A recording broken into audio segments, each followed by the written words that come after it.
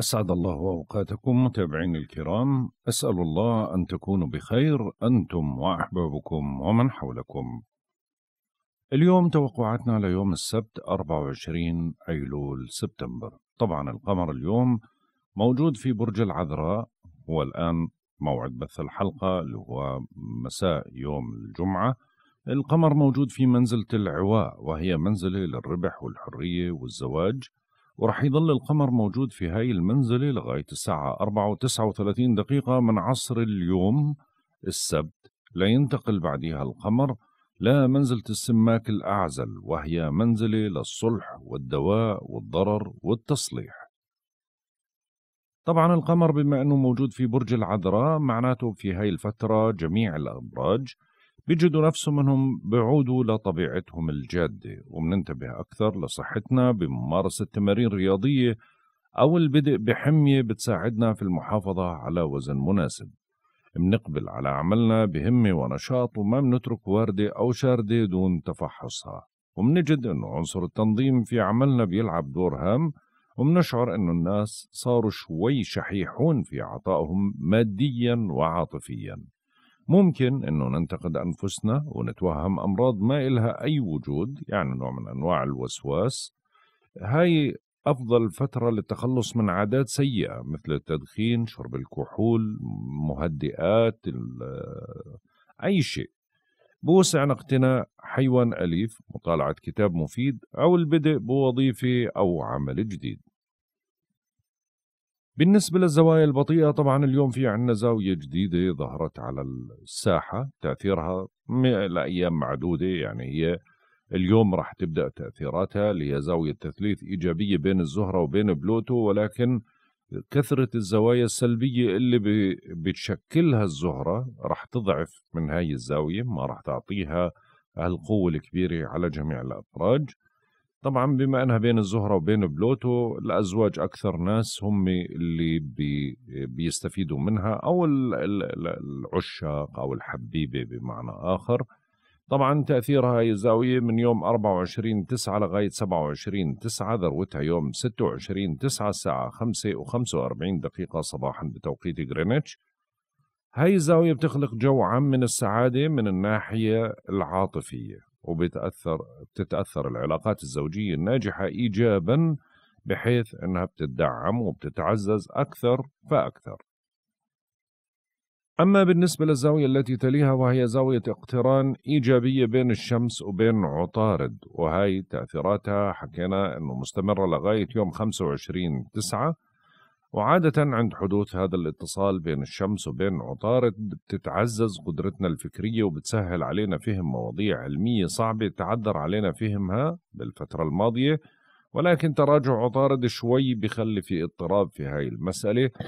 بيزداد التوجه لإجراء الاتصالات أو التنقلات أو السفريات الضرورية. أما بالنسبة للزاوية التي تليها وهي زاوية تقابل سلبية بين الشمس وبين المشتري وهاي تأثيراتها حكينا لغاية يوم 30 تسعة آه هاي الزاوية بتبدد الحظوظ في أي مسعى منقوم فيه. يعني من الآن ولغاية يوم 30 تسعة لا تعتمدوا على الحظ نهائيا من هاي الزاوية وأيضا من تراجع عطارد أما بالنسبة للزاوية التي تليها وهي زاوية تثليث إيجابية بين المريخ وبين زحل وهي تأثيراتها لغاية يوم آه، أربعة عشرة تقريبا.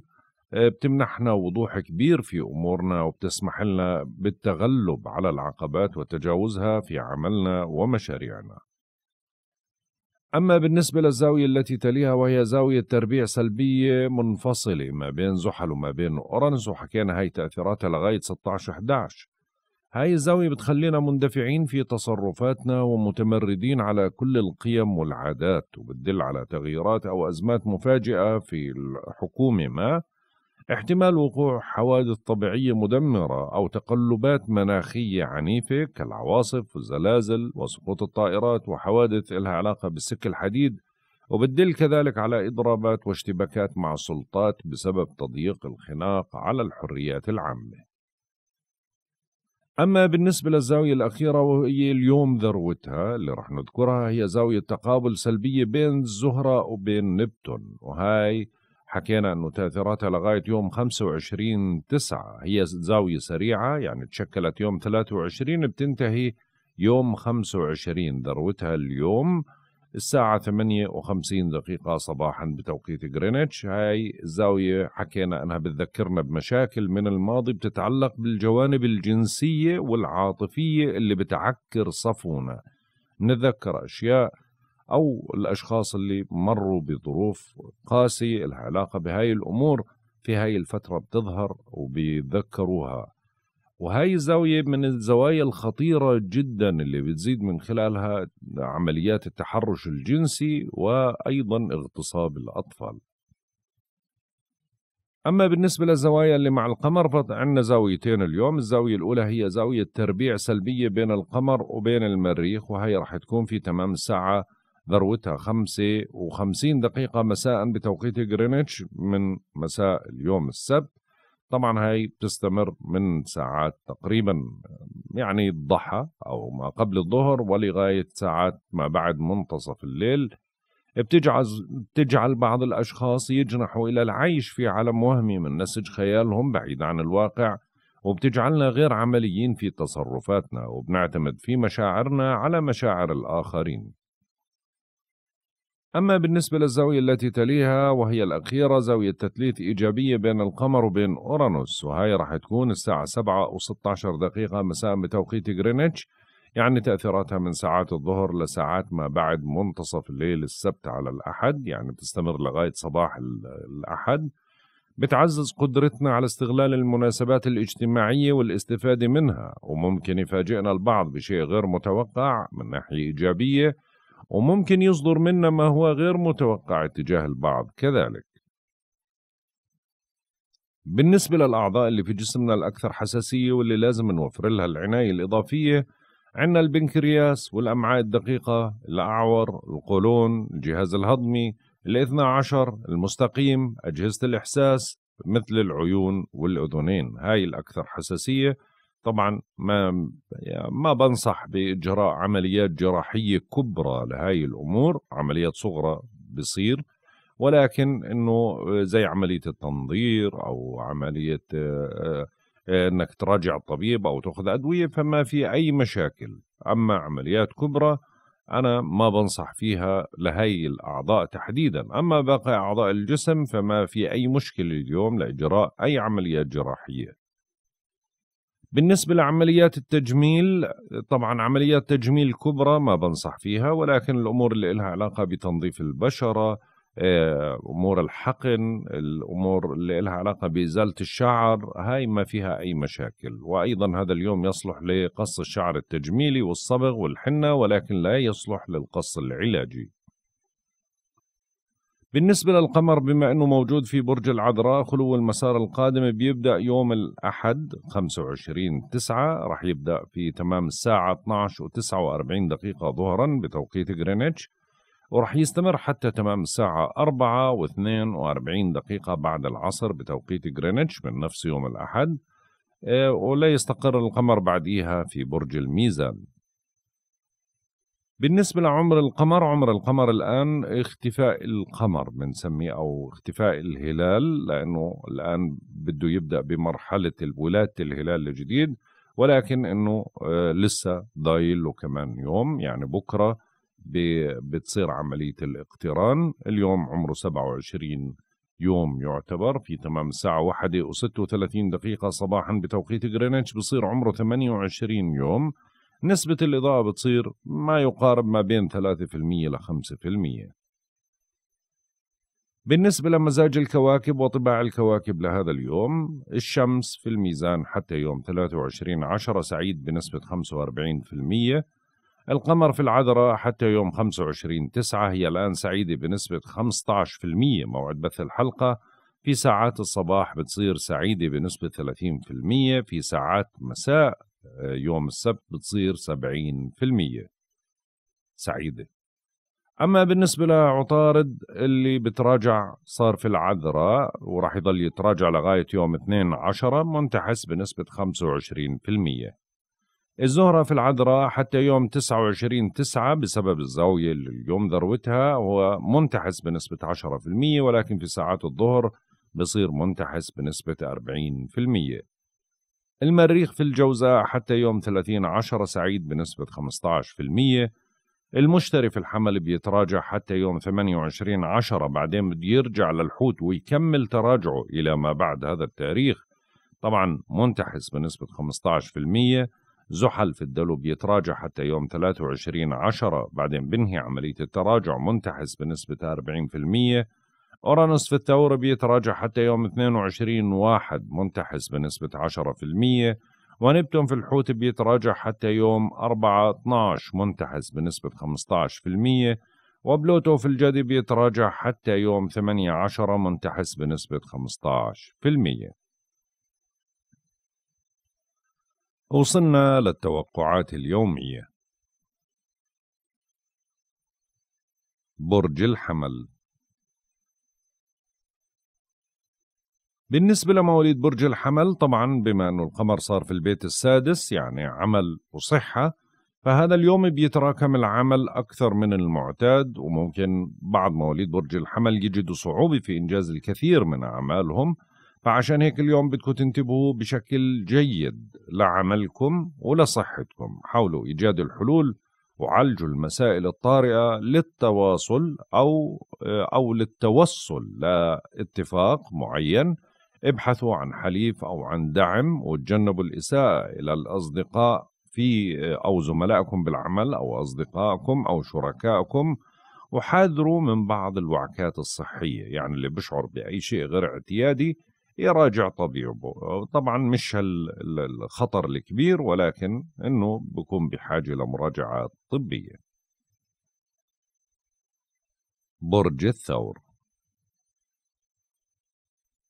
بالنسبة لمواليد برج الثور طبعا اليوم القمر موجود في البيت الخامس يعني اليوم طاقة الحب عندكم بتكون عالية جدا أو التقرب من الأحبة وبتظل اليوم رغبتكم قوية في التقرب من أحبائكم وإيجاد قاسم مشترك بيجمعكم بهم بحيثكم طبعا الوضع الفلكي بحيوية حماسة لمتابعة المساعي وللتواصل مع المحيط. وبيكون يوم من أفضل أيام الشهر وأوفرها حظا بما أنه القمر رح يكون سعيد بنسبة عالية بتشعروا بالطمأنينة وبالراحة ولكن تراجع عطارد اللي برضو موجود في العذراء ممكن يعمل سوء تفاهم أو تماس ما بينك وبين الحبيب أو محاولة فرض السيطرة على الأحبة أو الأبناء. حاول إنك تتلا يعني تتحاشاها. برج الجوزاء.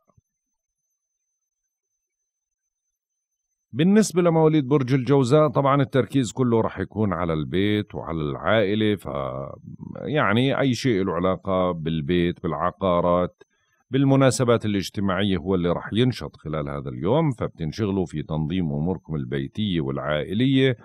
وبوسعكم إدخال أي تعديل مطلوب على مسكنكم. وبتشعروا ممكن بعض مواليد برج الجوزاء يشعروا ببعض الحزن أو التعب أو العتب على بعض المقربين لإله وبتبحثوا عن ملاذ آمن. أهم شيء أنك ما تنتقد أقرب الناس لإلك.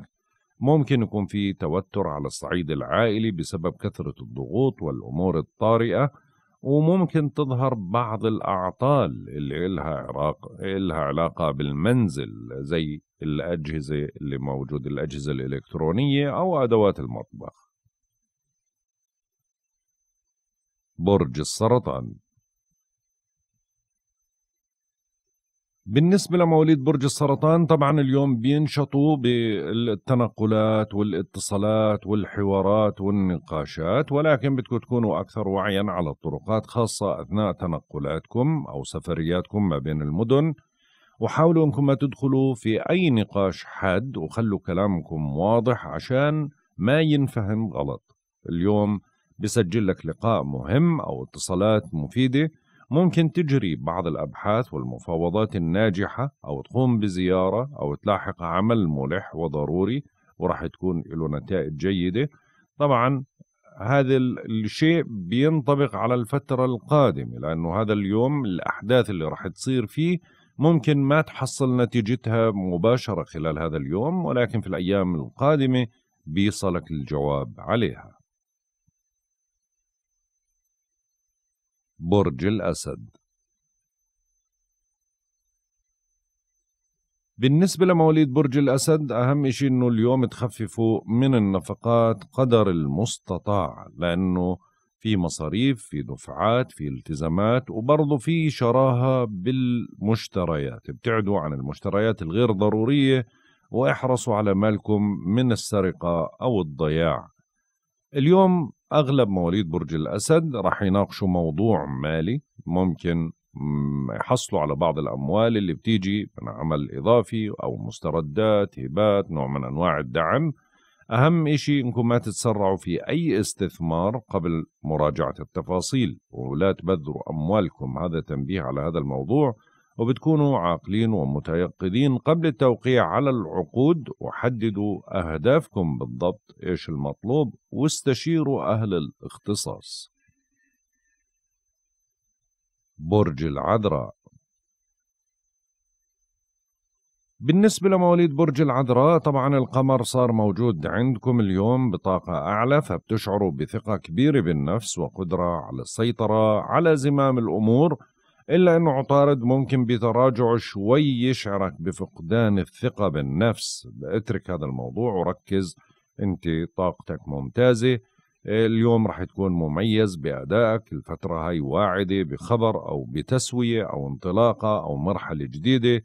رح تفرح آه، أو تطرح كمان أفكار جديدة وتحصل نتائجها. وبتجتهد على إنجاح مشروع جديد. وعندك حماسة ووضوح في الأفكار رح تكون واضحة تماما. برج الميزان. بالنسبة لمواليد برج الميزان طبعا هذا يوم بيتطلب منكم الانتباه بشكل جيد لصحتكم. ممكن تشعروا بأنه التعب بدأ يسيطر عليكم شوي لأنه القمر صار موجود في بيت المتاعب. فعشان هيك ممكن تفكروا في إلغاء مواعيد أو الابتعاد عن الأضواء. فعشان هيك حاول إنك تضبط طاقتك بشكل جيد. حاول إنك تأخذ قسط من الراحة خلال هذا اليوم وإحمي نفسك من المحتالين. ممكن تهدأ وتيرتك وتتراجع الأرباح والحيوية وأي شخص بوعدك بشيء ممكن ما يوفي خلال هذا النهار.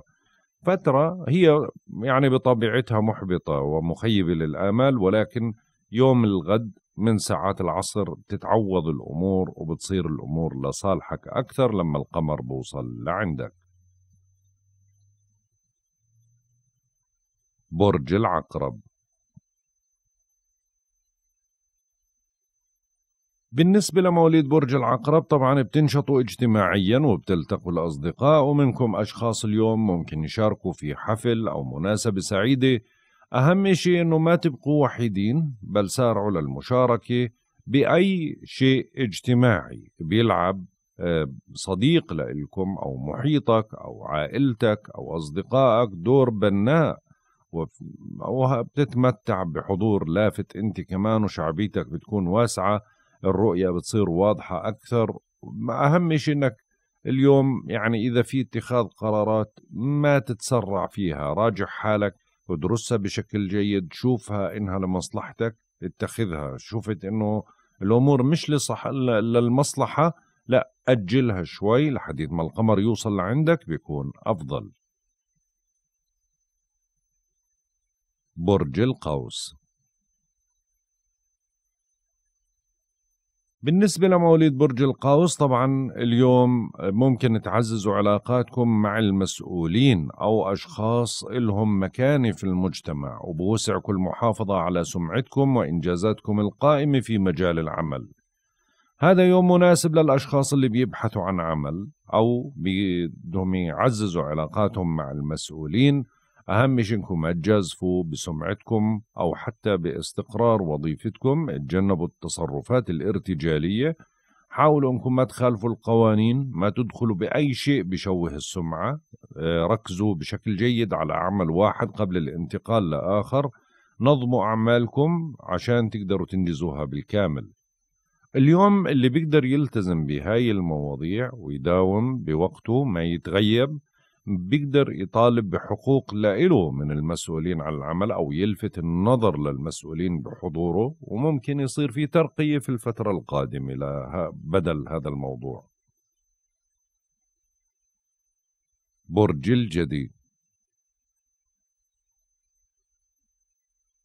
بالنسبة لمواليد برج الجدي طبعا اليوم بتنشطوا في أمور إلها علاقة بالسفر البعيد أوراق قانونية معاملات اتصالات ولكن بدكم تكونوا أكثر وعيا على الطرقات خاصة أثناء قيادة السيارة بين المدن. لا تنفعلوا لا تندفعوا لا تتهوروا. في اليوم عندك طاقة عالية جدا وعندك حماسة عالية جدا وهذا الإشي راح يترك كثير من الطباع أو الانطباعات الجيدة عنك بسبب حيويتك الفائضة. بتطمئن خواطرك وبتختفي هواجسك وهي فترة إيجابية جدا. أهم شيء إنك ما تضيع عليك الفرص اللي ممكن تحصلها خلال هذا اليوم. طبعا اللي عنده امتحان جامعي آه بده يركز ما يعتمد كثير على الحظ بده يركز بشكل جيد. برضو اليوم هذا مناسب لتعزيز العلاقات العاطفية لإلكم. برج الدلو. بالنسبة لمواليد برج الدلو طبعا التركيز كله راح يكون على الأموال المشتركة. اليوم ممكن تطالب بحقوق لإلك أو تتفحصوا حساب مالي مشترك أو أمور إلها علاقة بقرض أو تسوية أو ضريبة أو تأمين أو فواتير أو مال الزوج أو الزوجة. أهم شيء إنكم تخففوا من النفقات. ممكن اليوم يعني صحتكم أو صحة قريب لإلكم تكون بحاجة للرعاية شوي. ولكن حاولوا أنكم تكونوا برضو مرنين وما تتنازلوا عن حقكم شرط الامتناع عن فرض الرأي والتسلط. ابحثوا عن الحلول اللي بترضي مختلف الأطراف وما تهملوا أي ملف ولا أي قضية. طبعا ممكن بعضكم يحصل على بعض الحقوق اللي إله من الأموال أو يسترد أموال كان صعب إنه يحصلها بالفترة الماضية. برج الحوت. بالنسبة لمواليد برج الحوت طبعا القمر صار مقابلكم تماما وهذا بيعني أنه بعطيكم إيجابية على حول تركيز أو أمور لها علاقة بالدعم ما بينكم وبين شركائكم إن كان شركاء العمل أو العاطفة ممكن تعززوا العلاقة ما بينكم أو تتفقوا على شيء. ولكن بدكم تكونوا أكثر تفهما لوجهة نظرهم. نسقوا بين مختلف الواجبات. حافظوا على هدوءكم الكامل. حاولوا إنه اليوم ما تعصبوا. يعني أي شخص بده يستفزكم اليوم بدك تأخذ نفس طويل لأنه أنت الحلقة الأضعف. ما تدخل لا بنقاش ولا بعصبية ولا بجدال. اترك الموضوع ليومين لحديت ما يتحرك القمر من مقابلك بعدين بتجد إنه الرد لحاله إجا أو بصير عندك القدرة على الردود. لأنه عادة لما بيكون القمر مقابلك بيكون الضغوط كبيرة والأوضاع ممكن تكون فيها بعض الصعوبة. هيك بنكون انتهينا من توقعاتنا لهذا اليوم. والله أعلم يا رضا الله ورضا الوالدين سبحانك اللهم وبحمدك أشهد أن لا إله إلا أنت أستغفرك وأتوب إليك. أترككم في رعاية الله وحفظه. إلى اللقاء.